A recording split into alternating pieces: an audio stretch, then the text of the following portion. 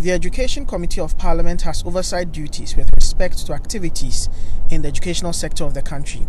As part of efforts to monitor the state of selected e-blocks in some regions, the minority first paid a visit to the site of the proposed Goi Community Day Senior High School in Sege in the Greater Accra region.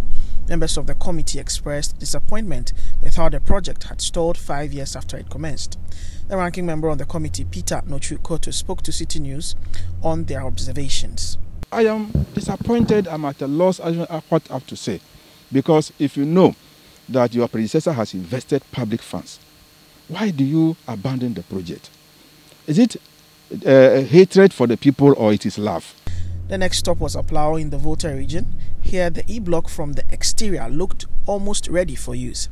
After inspecting the classrooms and other facilities, Deputy Ranking Member Dr. Clement Apaak called for a probe into the use of the proceeds of GET Fund securitization, which had not been used to complete these projects. For the $1.5 million that GET Fund was securitized to obtain was supposed to help complete what they themselves described as essential educational infrastructure. And they indicated in their memo to Parliament that this was to address the increased number of students who have come on stream as a result of the coming into being of the free senior school policy. So why is this here? Is it that we don't have the money?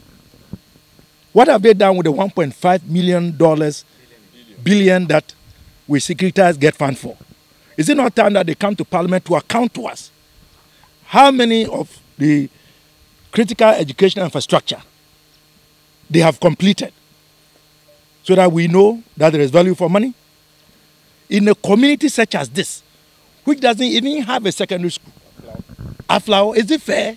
MP for Ketu South, Dzifa Gomashie, lamented the impact of the stored project on her constituents. A lot of money would have gone into this project. And for five years that it's been sitting here, it's traumatizing, it's troubling. I mean, this particular classroom right here, today, if you put a teacher in there and children there, they should be able to study. So why is it locked? Why are we doing this to ourselves? Why is it that we, we, we must be talking NDC era, NPP era, where education is concerned, Adutwum. He can sugarcoat, marinate, garnish everything that he wants to say about education, but the reality is in our faces. The reality is in the fact that under his watch, under his watch, children go to school for less than two months and they're home. And then they go back and then they're home. Would he put his children through? This is spelling doom. We are at the precipice. Already, uh, my generation and the ones behind me, we see a gap from what we went through and what they went through. And going down the ladder, these ones, they will not have a story. As part of their oversight responsibilities, members of the minority on the Education Committee of Parliament have been touring some project sites of the e-blocks started under the Mahama administration. They are demanding swift action to operationalize these projects.